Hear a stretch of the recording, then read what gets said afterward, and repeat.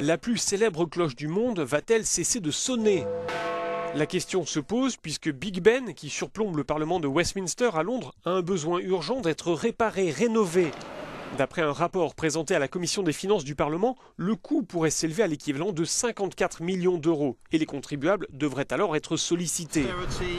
Nous sommes en pleine période d'austérité, souligne ce maître de conférence au King's College. Le Parlement vote des coupes budgétaires dans certains secteurs, donc ça va faire jaser si les députés autorisent une telle dépense pour réparer un élément de leur bâtiment. Cela dit, Big Ben et la tour Elizabeth qui l'abrite sont des monuments emblématiques du Royaume-Uni. La célèbre cloche est en service depuis 1859. S'il est approuvé, le chantier de rénovation pourrait durer jusqu'à 4 mois.